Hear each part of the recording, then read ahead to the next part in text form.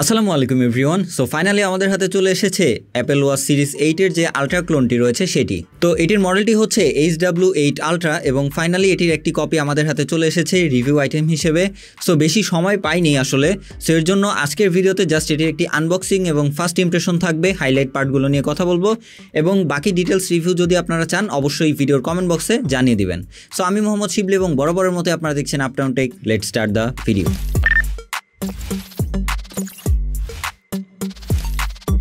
বক্সটা কিন্তু এর আগের যে স্মার্ট ওয়াচগুলো ছিল এইচডাব্লিউ সিরিজের, তাদের থেকে অনেকটাই মানে প্রিমিয়াম বলা যায়। সো বক্স দেখেই বুঝতে পারছেন কোয়ালিটি খুবই ভালো। এবং যদি বক্সটি আনবক্স করি, দেখতেই পাচ্ছেন, এখানে কিন্তু একটু ডিফারেন্ট করা হয়েছে আগের ঘড়িগুলো থেকে। তো এবার যদি আমরা এর বক্স কন্টেন্টের কথা বলি, প্রথমেই পেয়ে যাবেন এর যে এক্সট্রা বা মেইন স্ট্যাপ বলা যায় অ্যাপেল সিরিজ এইট আলট্রার যে মেইন স্ট্যাপ সো অনেকটাই সেরকম একটি স্ট্যাপ এখানে ব্যবহার করা হয়েছে। দেখতেই পাচ্ছেন, আমাদের ঘড়িটি কিন্তু হচ্ছে অরেঞ্জ কালার বা গোল্ড কালার যাই বলেন। সো তার সাথে কিন্তু এরকম অরেঞ্জ কালারের একটি স্ট্র্যাপ আপনি পেয়ে যাবেন। সো ডিজাইন এবং ওভারঅল কোয়ালিটি বলতে গেলে একদম টপনচ বলা যায় এই বাজেট রেঞ্জের একটা ঘড়ি থেকে। সো এবং এর সাথেও কিন্তু আরও একটি স্ট্র্যাপ পেয়ে যাবেন আপনারা silicone strap as usual normally যে স্ট্র্যাপগুলো থাকে। দেন আপনারা পেয়ে যাবেন একটি ওয়্যারলেস চার্জিং ক্যাবল যেটি দিয়ে বেসিক্যালি হচ্ছে এই ঘড়িটি চার্জ করতে হবে।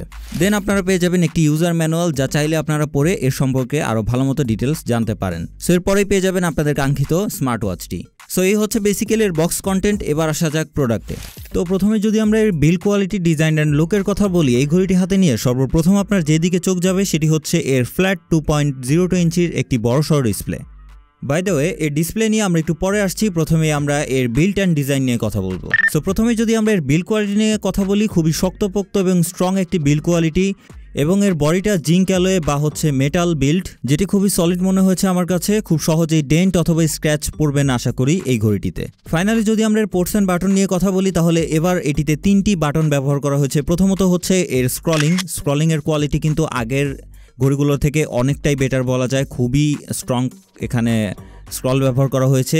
দ্বিতীয়ত হচ্ছে, এর যে মেইন বাটনটি, সেটিও আপনারা এখানে পেয়ে যাবেন। অ্যান্ড তৃতীয় হচ্ছে, আরও একটি ইন্টারেস্টিং বাটন সেটি হচ্ছে এর কুইক অ্যাকশন বাটন বা আপনারা কুইক বাটন বা যেটাই বলেন।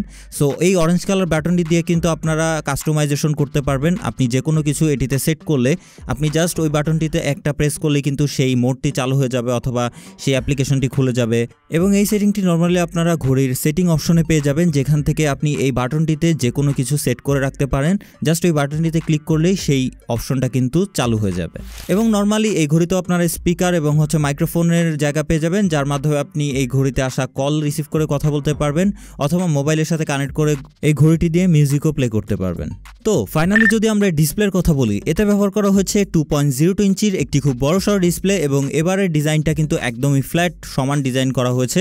কোনো কার্ভ এটিতে আপনারা দেখতে পাবেন না এবং অবশ্যই এই বাজেটে এটি একটি আইপিএস ডিসপ্লে এবার যদি আমরা এর শার্পনেসের কথা বলি, তাহলে শার্পনেস কিন্তু খুবই ভালো ছিল রেজুলেশন ভালো ছিল এবং যদি আমরা এর ব্রাইটনেসের কথা বলি, তাহলে আগের ঘড়িগুলোর থেকে ব্রাইটনেসটা একটু বেটার আমার কাছে মনে হয়েছে।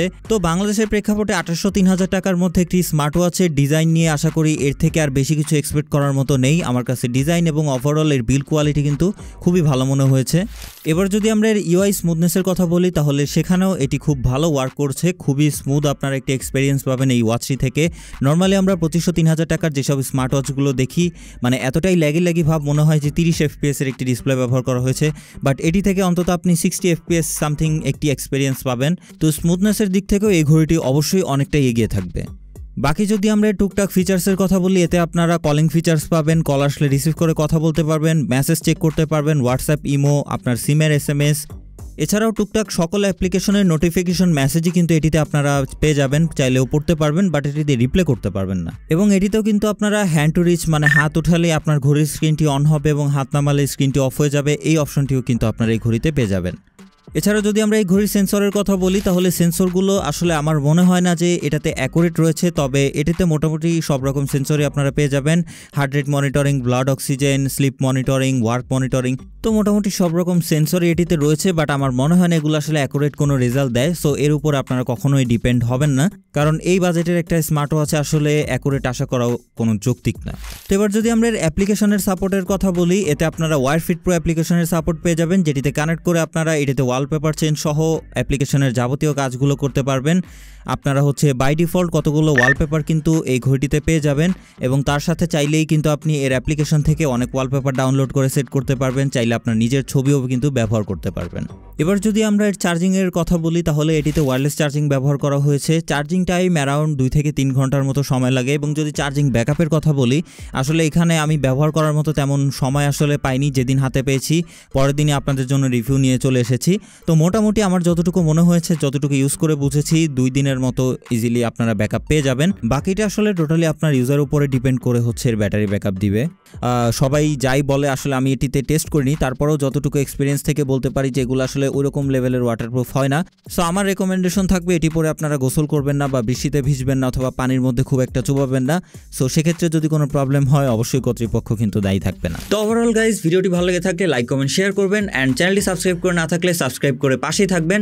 সো আজকে এই পর্যন্তই, দেখা হবে নেক্সট কোনো ভিডিওতে। সেই পর্যন্ত সবাই ভালো থাকবেন, সবাই সুস্থ থাকবেন, খোদা হাফেজ।